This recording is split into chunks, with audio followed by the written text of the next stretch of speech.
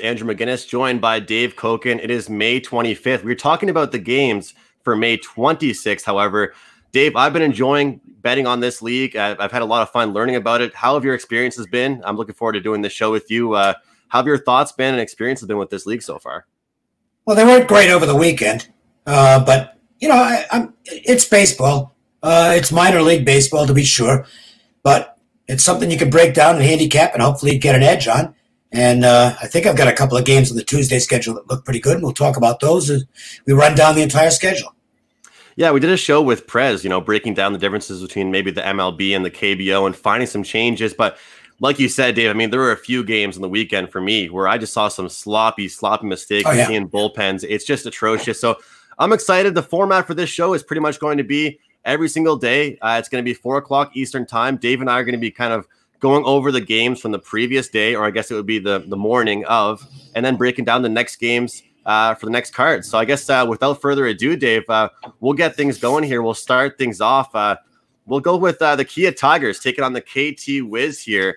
Uh, to me, a very interesting matchup. The Kia Tigers 10 and 8 and the KT Wiz 7 and 10. We'll start things out with you here. What are your thoughts, first of all, just on these two teams as a whole? And secondly, what are your thoughts on this as, as a betting matchup? Well, uh, uh, Kia's, uh, let me get my figures here. They're, they're not much offensively. And in this league, that, that's a bit of a problem because you've got to be able to put the runs up against the weaker pitchers in the league. Uh, the Wiz of uh, KT Wiz, they're scoring a lot of runs. They lead the league in runs scored. And yet, the funny thing is, I don't know they're a great offensive team. They've had some good fortune in some games. Uh, their pitching is sketchy. But tonight, I think you've got a potential pitcher's duel here with Drew Gagnon on the mound uh, for uh, Kia, and it's Bae on the mound for the Wiz. And Bae's put up some really good numbers so far. He's been a little bit fortunate. Uh, 0.90 ERA is masked by not too many strikeouts, but he's gotten a lot of soft contact. So batting average on balls in play is not outlandishly low. You'd think sometimes when a guy's got an ERA like that and he's not getting strikeouts, boy, he must be getting lucky. But batting average on balls in play is only 318. So it's actually um, in the average neighborhood, at least as far as uh, KBO is concerned. Um, the control is big for him. And this is, I think, the biggest key in this league is guys who can throw strikes. If you can throw strikes, you're going to do well in this league. Walks are the Waterloo for pitchers in any league, but particularly in this league. He's only had four walks in uh, 20 and a third innings with 11 strikeouts. So good numbers uh, for uh, for Bae. Gagnon is, is starting to put together the kind of numbers that might establish him as one of the top pitchers in this league. And I go to the walks and strikeouts, 16 and a third innings. The five walks is acceptable. 23 strikeouts, though. So he's getting a lot of swings and misses, especially on his breaking stuff. And his last performance was definitely his best. And if you look at his numbers, 3.86 ERA, but the FIP which is to me a more reliable indicator of how a pitcher's actually performing. It's well under three. It's 2.77. So I think he's a pitcher that's a go with right now.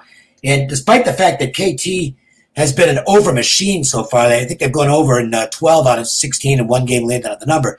Uh, I think the under is the way to play tonight. The market is reacting that way as well. It was 10, it's gone to nine and a half. I think you got a pretty good chance of a pitcher's duel here. And the value to me despite the fact that one of these teams has been going over almost every game, I think you look at the under here.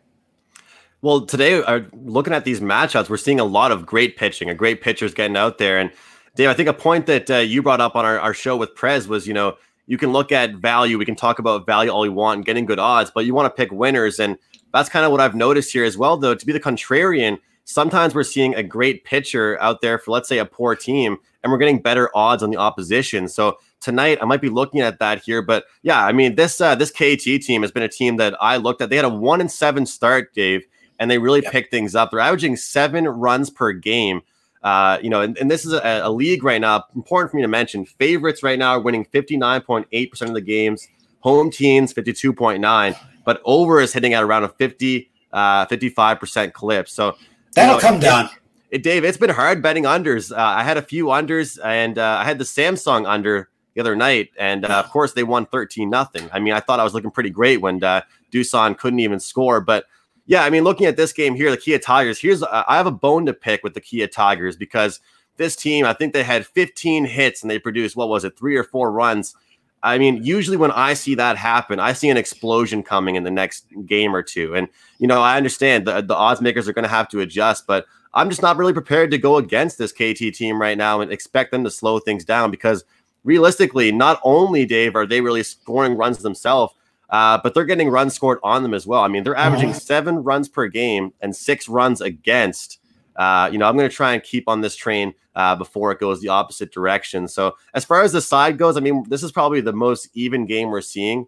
Uh, but I don't really have a side. I mean, I think Kia's going to come into this game very highly motivated. We got a great pitching matchup here. Um, you know, it could go either way, I'd say, but uh, I'm more focused on the total. Uh, Dave, I want to start off by just asking you: Have you been doing any in-game betting on this? Are you much no. of an in-game better, or no, not really? Zero, no. zero. It's not widely available. Just like first fives, I'd love, I'd love to give out first five plays, but they're just not widely available. I mean, of all the outs I've got, and I've got a lot. Uh, I've got two that are taking them. Neither one's taking big limits. And in our business, you have to give out games where anybody can bet the games at approximately the same number. So I'm not bothering with in-game at all. Uh, I haven't even looked at it to be honest with you. I don't know where it's available. And uh, uh, first fives I'm avoiding simply because I'd like to play them, but if my clients can't get them, then I'm not going to give them out. Absolutely. And you can follow uh, Dave at Dave Cokin on Twitter. Find his plays at wagertalk.com. Myself at McInnis Picks. Find my plays at sportsmemo.com. And yes, it's important to follow these odds and make sure you're keeping a good eye on them because the more the po- more uh, popular this league gets, uh, the faster these are changing every single hour. We're going to go with the LG Twins, Hanwha Eagles. Uh, LG Twins, quite a bit of a favorite here, Dave. They, have kind of gotten juiced up. It seems like you know every single minute. A lot of people liking this uh, this Twins team. Uh, what are you thinking about them right now? And more importantly, I want to ask you as well. The Hanwha Eagles have been a bottom feeder here. Do they get it together, or are they just an auto fade here uh, for you uh, early in the season? I don't know about auto fade, but uh, you know the, the bets are going against them. Let's put it that way. This line's going up like 25 cents uh, today. Um, this is kind of a tough game because Chad Bell will make his debut for the season uh, for Hanwha. And, yeah, he was okay for them last year. And he does profile as the guy who's supposed to be the ace of the team. He's been out with an elbow problem. So I don't know how long he's slated to go. Uh, it's tough to get that information. I don't know if he's on a pitch count. You know, if this were Major League Baseball, you you'd be able to find all kinds of information as to you know whether he's going to be out there for 60 pitches 75 pitches or whatever but you can't find that here at least i can't. Uh, the flip side of it is flexen or excuse me wilson on the mound for uh, the twins. He's been uh, he hasn't been lucky and he also hasn't been very good. Uh, I, I i think he's he should start coming around but the walks have been a bit of an issue. Um, he just hasn't had great command. He's also had some ridiculously tough. He's had a really bad time with men on base. Uh, if you get on base against this guy, you score. His strain rate's only fifty-two percent, which is absurdly low. So it means he's he's giving up runs. Uh, he, crooked numbers are going up against Wilson when he has a bad inning. It seems to just get magnified. I think he's probably the right side here because Bell again hasn't pitched, and Hanwha is just a, a, terrible baseball team. They don't have any offense. They've only scored 69 runs. That's four runs a game, and in this league, that's really low. So the edge would certainly appear to be with the Twins, but you're going to have to pay the uh, pay the piper as far as that goes, uh, as far as the price goes. Yeah, 96 runs for the Twins on the year and 69 for the Hanwha Eagles the thing for me, Dave, is a lot of times you see a team that's not scoring runs. At least give me a defensive effort, right? At least you know support yourself defensively, or at least with strong pitching wise. And they haven't been doing that either. Coming off a really tough series against NC. I mean, they've been able to keep some teams under, but for more, you know, for this part right now, the way I look at them, I'll be looking at betting the over with this team just because they're getting uh, beat on. I mean, a lot of times you can see, for me anyway, this is my personal opinion, you can see a team uh, that's not scoring and hopefully they'll try and at least you know put up some good pitching and, and do that. But right now they're just getting beat on by most teams, and I think until the odds makers really adjust, I'm going to look ahead here and I'm going to lock in the Twins here as as a play. I think it's worth it here uh, at a pretty strong number around minus 180. Um, you know, we talked about with with Prez on that show about laying the run line. I know you're a fan of the minus one line, right? Dave. This would probably yeah, be a good I, opportunity for it. Would you agree? Yeah, I, I, think so. Of course, you don't really get your you don't really get your money's worth on uh, minus one and a half in this league because this game's a good example. Uh, you know, minus one, 175, thereabouts, 180, and yet they're minus 115 on the runs line as well. So the the bookmakers know what the bettors are trying to do, and they're not going to they're not going to give you a real fair price on the runs line. But if you want to lower the liability uh, on the money line, it's still not a bad idea to do the minus one. The SK Wyverns taking on the Doosan Bears, and this this one here, I mean. Doosan Bears are very interesting right now for me. I mean, this is a team that uh, they're, they're leading the league in overs. Um, they, have well, been a quality yeah. team. And, their offense, uh, their offense is good, and their pitching stinks. Yeah, so they, they go over yeah. a lot, especially like, late in the game, eh, Dave? Well, yeah. I mean, the team's given up 122 runs. They've given up more runs than any team in the league, and you know the offense is they have to hit every game to win. Basically, uh, that may be the case again tonight. And it's uh, matchup is Park versus Flexen. Flexen's coming around pretty good, and, and this looks like a fairly easy spot uh, for the Bears. Flexen has got some good numbers. Uh, 2 0, 2.70, four walks, 22 strikeouts in his 20 innings of work. That's really solid. And there's no reason to expect that he'll have a great deal of trouble with an SK team that's uh, just bad at everything. They've only scored 61 runs. They're the worst offense in the league. Uh, Parks on the mound tonight. He's yeah, he's been okay. He's been all right. I I kind of like some of the numbers that he's got. His peripherals are are actually pretty good. He's had a terrible time as far as batting average on balls in play. You can't get unluckier than this. 429. So he's pitched a lot better than his than his base numbers would indicate. The problem is, is he going to get any run support tonight against Flexen? I don't know. I would probably lean to the under in this game, despite the fact that Doosan uh, uh, uh, can't pitch. Uh, they're facing a team that can't hit. So to me, the under looks like uh, the option that makes the most sense as far as the the, uh, the game itself goes. If I can get my mouse to work properly and get over to my screen here, um, it's it's a big number, obviously, in the game. You're looking at 230. Total in the game, nine and a half. Over is slightly juiced. I think I lean to the under in the game, but it's not going to be a play for me. Yeah, we're talking about totals here. I mean, I think a really good point to, to bring up is these team totals. A lot of people looking at full game overs, but if you like a certain team, go ahead and drop it on the team total if your book is offering that or your sports betting website because you know we're seeing teams that are losing by margin. I'm talking yeah, like it, 10 5, lot, 12 yeah. Dave that are you're not getting a lot of close games over. Would you agree with that? Do you Yes. Yeah. You're not getting a lot of close games in the league. Uh, that, that, that just haven't been a lot of one run games. So that's the other side of it as far as the runs line is concerned is that, you know, based on what's been taking place, if you pick the winner of the game, the minus one and a half isn't bad, even though you're not getting full value as far as the price is concerned. Yeah, I mean, I can get the Doosan Bears right now, team total uh, over five and a half at minus 125. That's the play I'm going to like in this game here. Obviously, a very juice number here on the money line. I got to agree with you as well, Dave. I mean, the only thing that worries me is that I told you I, I, was telling you about the Samsung one that I had the Samsung loss and that I had the under in that game and they scored 13 runs themselves. So I'd be worried that uh, Doosan would just carry this the load themselves. But I do think it's a good spot here. And like I mentioned off the top of the show, we're seeing some great pitchers out there tonight. So uh, or tomorrow morning. So uh, we'll be interested to see how the totals work. And you know if these numbers keep going up, the odds makers are only going to have to uh, keep adjusting them. We'll move, move down the list here well, to the Samsung yeah, lines. Let me, let me just uh, note one thing though: uh, the overs are going to be more prevalent on the weekends because you get you get back of the rotation guys, and the bullpens are already stretched out uh, from working earlier in the week. I think on the Tuesday and Wednesday cards, you're likely to get better pitching because the better starters are out there. Once you get to the back of the rotations yeah. with these teams, you've got some guys who are just not very good, and and don't don't have good control, and they eat up pitch counts. They're they're at 100 pitches in five innings, so you got a lot of bullpen innings being logged on the weekends, and that really does lead itself to overs. It's something we've learned over the first few weeks in this league. Samsung Lions and Lotte Giants. Interesting one here. We got Straily taking on Choi Chae-heung. And uh, this is, you know, I, I think Straily has been going to be one of the more stronger pitchers in this league here, Dave. But I have a problem with this price. I don't like this number I'm getting here uh, with this Lotte Giants team, and that's something that kind of concerns me. I mean, Samsung Lions coming off an offensive explosion with 13 runs. they look their strongest that we've seen them, and they've been kind of a bubble team for me. They've been very up and down. I mean, they're ninth in the league right now.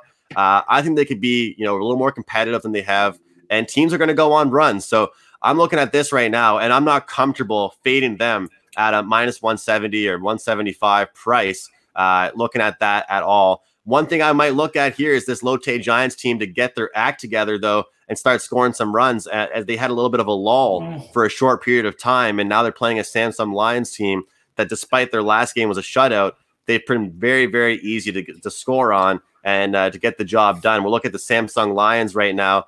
I mean, you know, close to six runs per game. They're averaging. Lotte Giants right now. I mean, they, they need to find a team to start beating up, and I think this might be the team for the Lotte Giants to, to kind of go after. So I, I don't like this number here I'm getting with Lotte, but I think we could possibly see some runs here in this one. And the stats don't point towards it, Dave, but I think if there's a team that Lotte is going to get it together against, it might be uh, this Samsung team. Right. And of course, the tough part of that is that they're facing a good pitcher tonight. Uh, and uh, Troy, and, and, I know I'm mispronouncing his, his name, but you know, I'm sorry. Uh, but he's been good. Uh, he's been lucky as well. The 2.65 ERA is a bit phony. Uh, his control is so-so. His FIP is 4.29. So there's going to be some regression with him, and it might be that Lotte can get to him this evening. Straily's uh, been a bit of a mystery so far. He's looked really good in a couple of starts, but he's also had control problems. He's got a lot of walks, uh, 10 walks in 22 innings. Got a lot of strikeouts too. But I, you know, I, uh, he's pitching okay, but I wouldn't say that he's been a stud so far, and the Giants need him to be a number one starter. It might well be that this is the game where he can get it going as far as that goes because he's facing a team with a bad offense. Uh, I know Samsung exploded for the 13 runs over the weekend, but this is not a good offensive team. So I think Straily is justifiably getting heavy action today. This line has gone way up. It opened at. Uh, it's gone way up from the opener. Oh, way up. I mean, it, uh, the first number at Circa was 155 and it's going to 180. Uh, at Pinnacle, it actually opened 132 and it's going to 160 there, so they're a little bit lower. Uh, Westgate's got it, Superbook's got it 162. You know, look, this is a game where, to me, if you didn't bet it early, you kind of missed the boat.